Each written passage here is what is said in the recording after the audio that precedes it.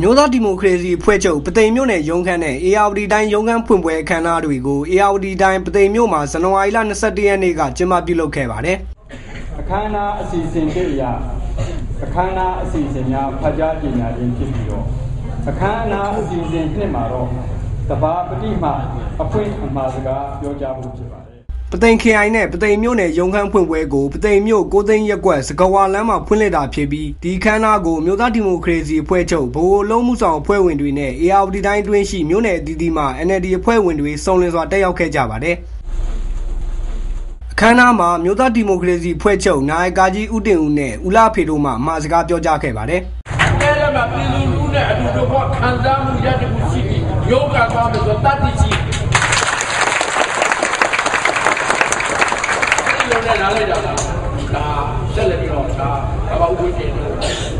ကျွန်တော်ပေါ့တန်တဲ့ထောက်ပေါ့အကုန်လုံး2008ဖွဲ့ပြီးချိန်ကဝင်းကျွန်တော်တို့ထောက်ခံတယ်လက်မခံအကြောင်းမို့လို့ရွက်ကောက်ပွဲနဲ့ပတ်သက်တာလည်းကျွန်တော်တို့မဝင်ဘူးပြပြပြရတယ်ခုနကျွန်တော်တို့ငါကကြီးပြောသွားတဲ့အတိုင်းဒီနေ့အချိန်ကတော့ကျွန်တော်တို့အားလုံးဟာ တိုင်းပြည်အတွက်နိုင်ငံအတွက်တော့ဒီမိုကရေစီရေးအတွက်ယုံကြည်ရထားတဲ့ပုဂ္ဂိုလ်တိုင်းဟာဒီနေ့တော့ပြက်ပြက်သားသားဆုံးရတော့မှာဖြစ်ပါတယ်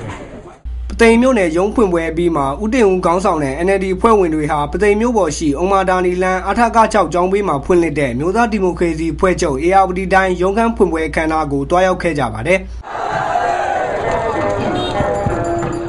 ဦးတင်ဦးနဲ့အဖွဲ့ကိုပသိမ်မြို့ခံပြည်သူလူထုနဲ့ NND အဖွဲ့ဝင်တွေက တခဲနဲ့ထောက်ခံကြိုးဆိုခဲ့ကြပါတယ်။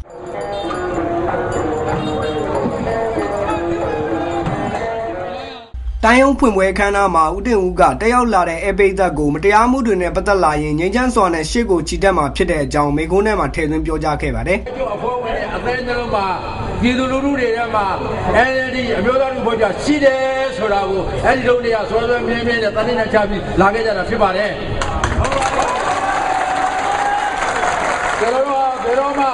အလံကိုမဆဲခဲ့ပါဘူးဘယ်တော့မှကျွန်တော်တို့ကနောက်မဆုတ်ခဲ့ပါဘူးတရားမျှတတဲ့ကိစ္စနဲ့ပတ်သက်တာအားလုံးကိုစစ်စစ်ပြီးအေးချမ်းစွာငြိမ်းချမ်းစွာကြီးတတ်မယ်ဆိုပြီးတော့ပြည်သူလူထုရဲ့ဂျားထဲမှာနေပြီးကျွန်တော်လာခဲ့တာတော့အများကြီးအလုပ်လုပ်ခဲ့ပါတယ်တော့နိုင်ငံကြီးသမားကိစ္စနဲ့ပတ်သက်တဲ့ဘက်မှာအထောက်အပံ့ပြုတာတွေသူတို့မိသားစုတွေပတ်သက်ဒုက္ခရောက်ကြတာဆင်းရဲတာတွေသူတို့သားတွေမိတွေပြတယ်အမှန်တမ်းကြတဲ့ဆင်းရဲတာတွေဒါတွေအားလုံးကိုအဖွဲ့ချုပ်မှာတန်းနေပြီးဆိုမလားအားတော့ကြည်ရင်နဲ့အဲ့ဒီအဖွဲ့တွေကိုအားပြုပြီးတော့ကျွန်တော်ရဲ့အလုပ်ရတွေကိုပြည်သူလူထုရဲ့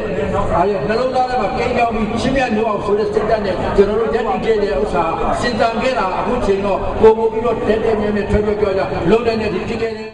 မြို့သားဒီမိုကရေစီဖွဲ့ချုပ်ကလာမယ့်ဧပြီတရက်နေ့မှာပြုလုပ်မဲ့ဂျားပြတ်ရွေးကောက်ပွဲမှာဝင်ရောက်ရှင်ပြိုင်မှုဆုံးဖြတ်ပြီးနောက်ပိုင်းမှာကုလိုရုံးခန်းဖွင့်ပွဲခမ်းနားတွေကိုမြို့နယ်အသီးသီးမှာစတိုက်ဆိုသလိုဖွင့်လှစ်လာတာဖြစ်ပါတယ်ခင်ဗျာ။